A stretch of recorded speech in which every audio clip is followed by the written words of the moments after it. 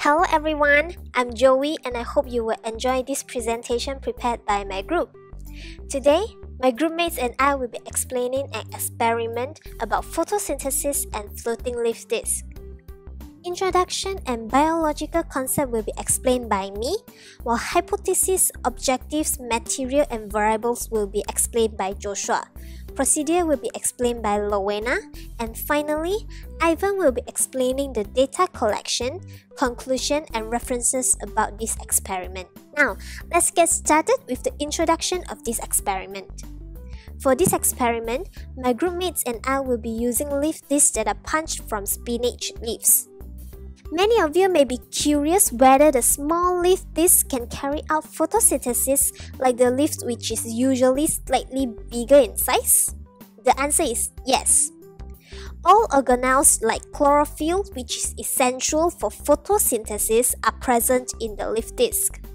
Hence, photosynthesis can be carried out by the leaf disc. Initially, when the leaf disc and the solution is being poured into a beaker, the leaf disc will float in the solution because of the air in the spaces between the cells of the leaf disc. However, we will need the leaf disc to sink to the bottom of the beaker.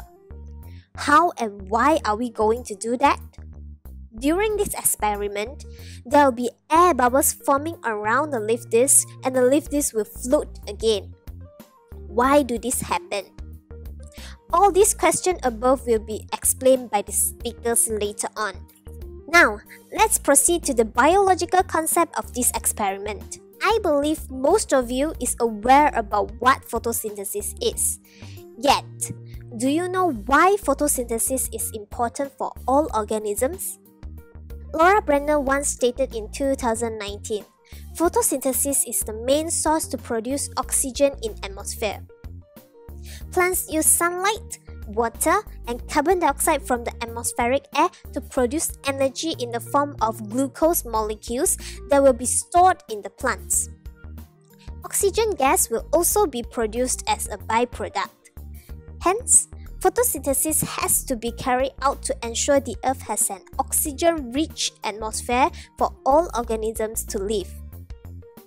It is true that photosynthesis is vital for all organisms to survive. With this, we are led to the next question. How does photosynthesis and cellular respiration related to each other? According to Liz Vellos in year 2017, photosynthesis and cellular respiration is related such that the products of one system are the reactants of the other system and this enables cells to produce and store energy and helps to regulate the concentration of carbon dioxide and oxygen in the atmosphere. Let's have a look at this diagram. To carry out cellular respiration, the glucose produced from photosynthesis is broken down through three stages to produce energy. As you can see, Oxygen is involved in the process while water and carbon dioxide is produced as byproduct into the atmosphere. The carbon dioxide and water that are produced in the atmospheric air is then being used for the process of photosynthesis in plants. Thus, atmospheric concentration of carbon dioxide and oxygen gas is regulated by the cycle as shown in the diagram. Now, let's have Joshua to continue with the hypothesis of this experiment. Hi, I'm Joshua. So, I'll continue the presentation with the hypothesis in this experiment. The hypothesis in this experiment is when the leaf disc is exposed directly under the sunlight, the number of leaf discs floating in 2 minutes time interval will be higher as compared to the artificial light source. However, when the leaf disc is covered with aluminium foil, the leaf will not float.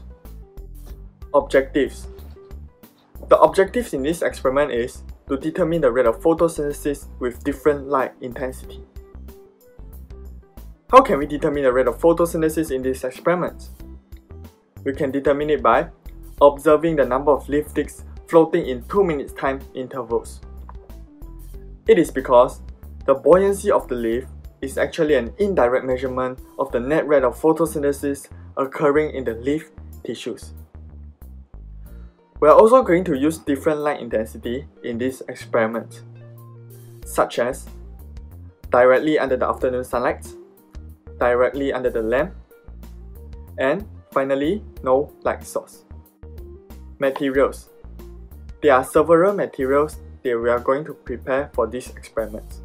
Syringe, beaker, hole puncher, tweezers, stopwatch, liquid dishwasher, baking soda, spinach leaves, desk lamp, distilled water, and aluminium foil.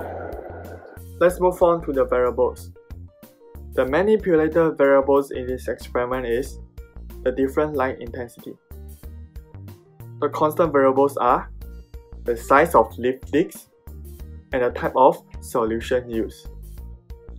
The responding variables in this experiment will be the number of discs floating in 2 minutes time intervals.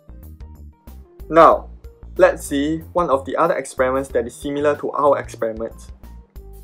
The title of this similar experiment is called the relationship between different light intensity and the amount of oxygen gas produced.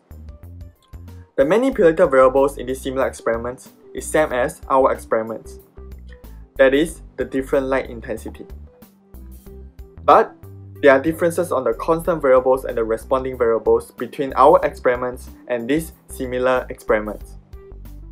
The constant variables in this experiment is the temperature of water.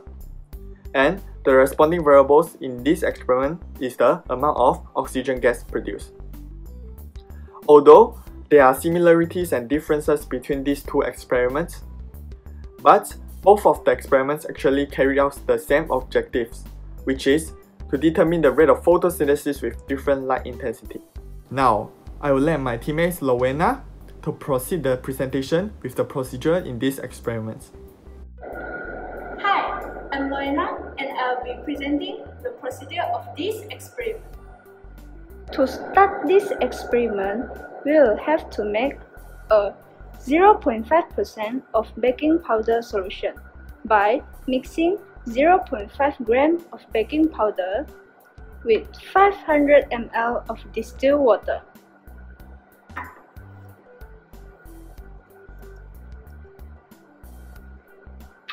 Then, add a few drops of liquid dishwasher. And mix gently. Why do we need to put liquid dishwasher into the baking powder solution? This is to wash away the wax on the leaf disc and avoid water repellent in the leaf disc. Test the syringe by sealing the tip and pulling back on the plunger. Why? This is to indicate a good vacuum medium. Put the leaf disc into the syringe and reinsert the plunger of the syringe carefully. Make sure the leaf discs are not crushed. Draw a small amount of baking powder solution and liquid dishwasher into the syringe. Hold the syringe vertically with the tip pointed upwards and Expel the air by gently pushing the plunger. Close the tip of the syringe with finger and pull the plunger to create a vacuum medium. The plunger is held in place for 10 seconds. And release. Repeat this step for 3 times.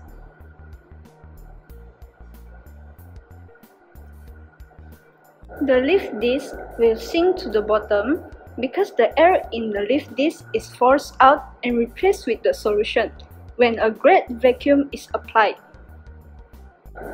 Use tweezer to transfer 10 leaf discs to each beaker with baking powder solution and liquid dishwasher until it is enough to cover the leaf disc. Beaker air will be placed under the sunlight Beaker B will be placed directly under the lamp. Beaker C will be covered with aluminum foil.